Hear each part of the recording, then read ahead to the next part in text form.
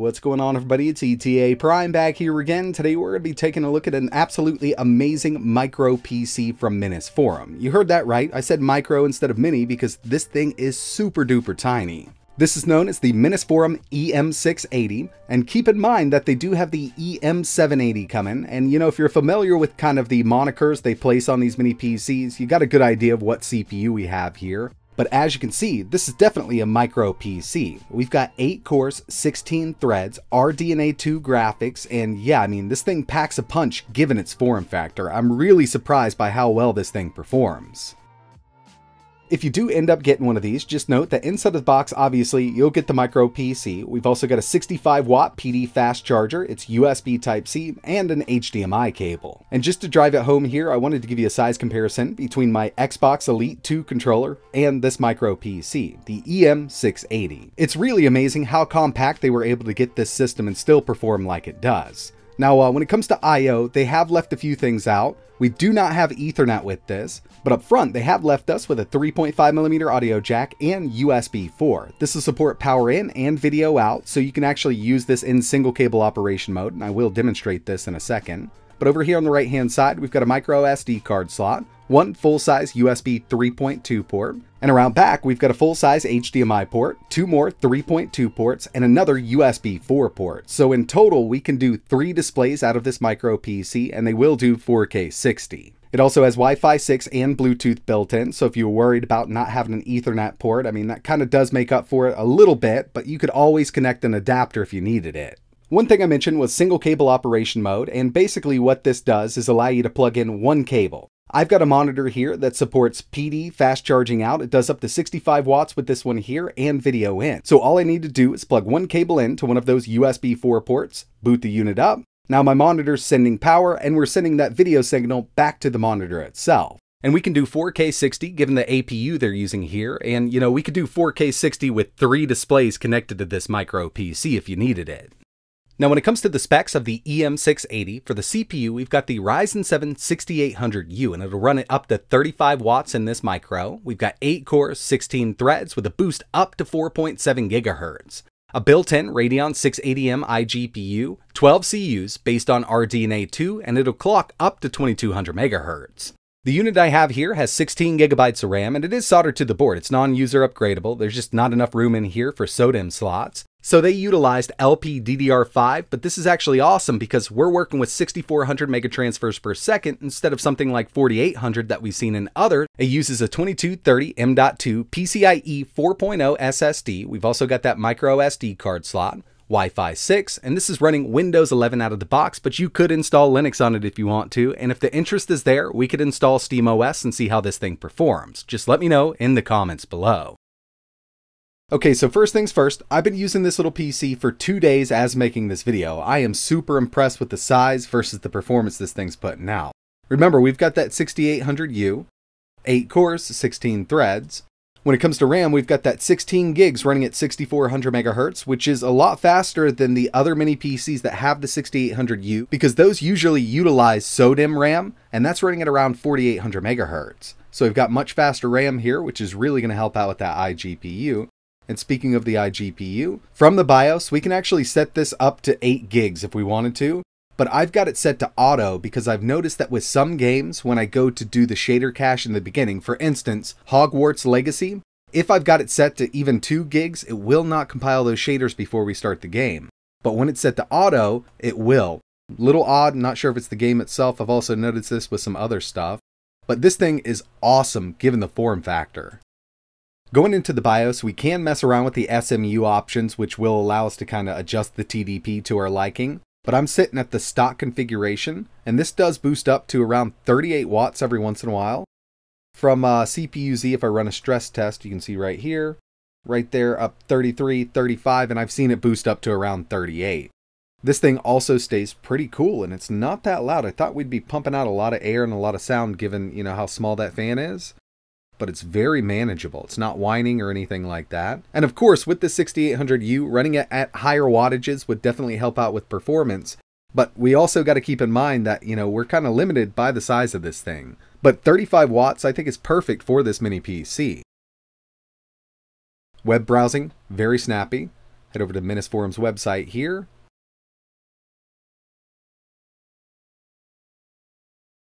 Everything populates very quickly. And if we scroll on down, you'll see everything's ready to go. All these images. Uh, there's also some videos on this page here. But yeah, I mean, web browsing, really nice. And we know with the 6800U, we've got more than enough power to use it just as your basic desktop PC. Web browsing, email checking, document editing, even some photo editing is possible. But the next thing I wanted to take a look at was some 4K video playback from YouTube. And we'll just go ahead and find one of these uh, 4K demo videos I usually test. Make sure we're at 4K. Go ahead and restart this. Let's go 4K. We'll do full screen. Stats for nerds. And this is going to handle 4K 60 HDR like a champ. I mean, it'll go through this whole video here without any drop frames at all. Got stats for nerds up in the top left hand corner. You see we've got zero drop frames and it's just going to go on and go on without any of them dropping here. I've had amazing luck with these 6000 series Ryzen APUs and 4K video playback, but I haven't tested three displays running at 4K 60 at the same time. But I mean, the way it is, if you needed to do 4K video playback from your favorite streaming app like Netflix, YouTube, HBO, or even local storage like an SD card, internal storage, or an external hard drive, just know, I mean, the 6800U has more than enough power for 4K 60. But one of the main things that I wanted to check out with this micro PC was just PC gaming in general. Having something this small that can do some newer AAA games, uh, even at 720, 60 FPS, is pretty impressive. And this thing does it. First up, Street Fighter 6 low settings, and we're at 720p, but it's being upscaled using RSR to 1080. If you're not familiar with RSR, it's Radeon Super Resolution. It does work on these RDNA 2 iGPUs. It would have been really nice if I could have went up to medium with this one, but unfortunately we're right at around 55 on average, and you definitely want to play these fighting games at a steady 60.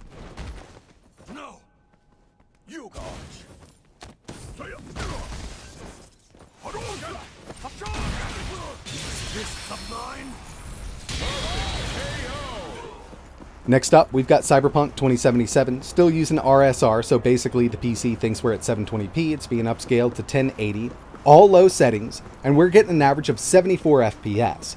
With the newly updated Radeon drivers and updates from CD Projekt Red to Cyberpunk 2077, these APUs can actually handle this game way better than I ever thought they would.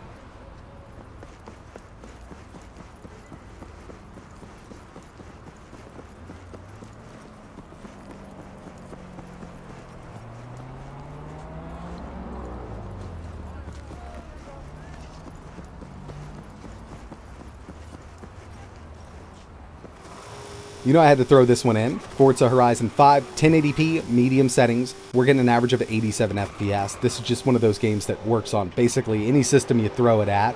This is very, very playable in my opinion. And we're at a true 1080, not using RSR here. I've just had really good luck with this game on iGPUs. Even some of the Intel Xe systems can actually run this over 60 medium settings 1080p.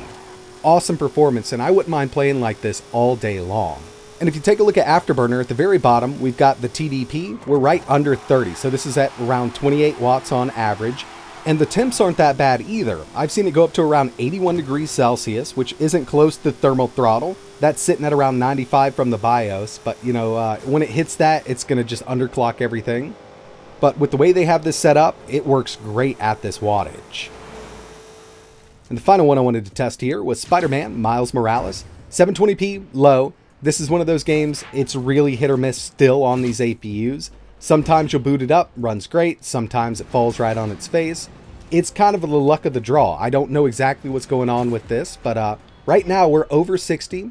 On average, we got 63, but you'll see those dips go under 60 every once in a while.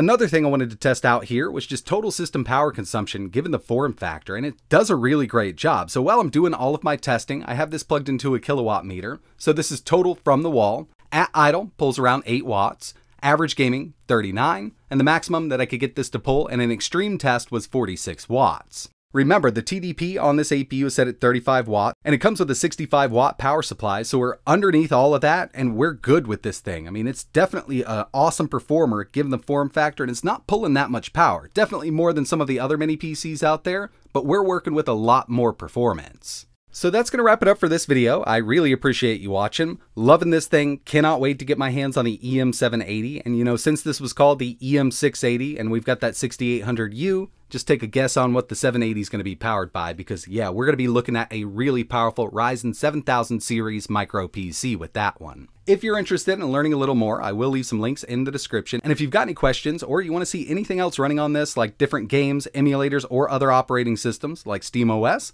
let me know down below. But like always, thanks for watching.